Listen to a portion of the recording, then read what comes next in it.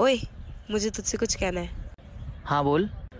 I love you हाँ हाँ बहुत बार सुन लिया तेरा I love you as a friend हाँ तो इस बार फ्रेंड को बॉयफ्रेंड से रिप्लेस कर दे।